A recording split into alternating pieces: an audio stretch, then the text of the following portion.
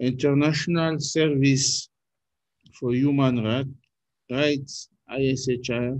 Merci, Monsieur le Vice-président. Monsieur le Président, honorable commissaire et à partie, chers délégués. Merci, Monsieur le Président, pour la présentation de votre rapport et notamment pour la mise à jour quant aux activités du groupe de travail sur les industries extractives, l'environnement et les violations des droits de l'homme.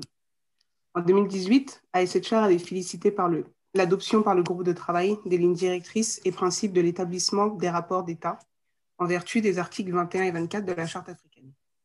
Nous demeurons convaincus de l'importance et l'utilité de telles lignes directrices pour orienter et encourager les États à rapporter quant à la mise en œuvre des articles au niveau national. Néanmoins, depuis l'adoption de ces lignes directrices, encore trop peu d'États fournissent des informations pertinentes et nécessaires permettant à la Commission d'évaluer de manière approfondie la mise en œuvre de ces articles.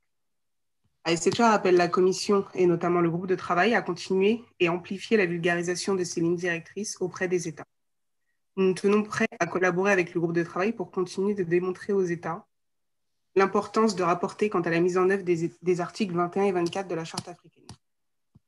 Les violations des droits humains contre les défenseurs environnementaux, de la terre et des peuples autochtones continuent de se multiplier à travers l'Afrique. Alors que le continent souffre des effets sur la santé et des restrictions causées par la pandémie du Covid-19, les sociétés transnationales ont continué d'étendre leurs activités minières, pétrolières et gazières à travers le continent. Trop régulièrement, elles ignorent les demandes et les droits des communautés locales, qui à leur tour subissent des expulsions forcées, un accès limité à leurs terres et une aggravation des impacts du changement climatique. Une conséquence directe de l'exploitation des combustibles fossiles. Dans certains cas, ces violations vont jusqu'au meurtre.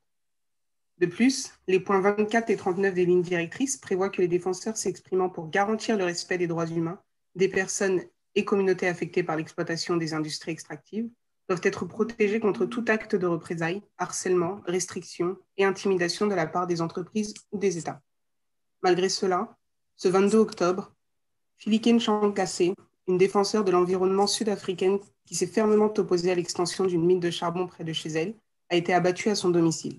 Elle était actuellement impliquée dans un litige juridique l'opposant à Tendelecol, la compagnie exploitant la mine de charbon qui se situait notamment près de la plus ancienne réserve naturelle d'Afrique. Enfin, au vu du nombre toujours croissant de défenseurs appelant au respect des droits humains et de l'environnement par les entreprises en Afrique, nous nous réjouissons de la publication prochaine de l'étude préliminaire sur les industries extractives, l'environnement et les violations des droits de l'homme en Afrique. Je vous remercie.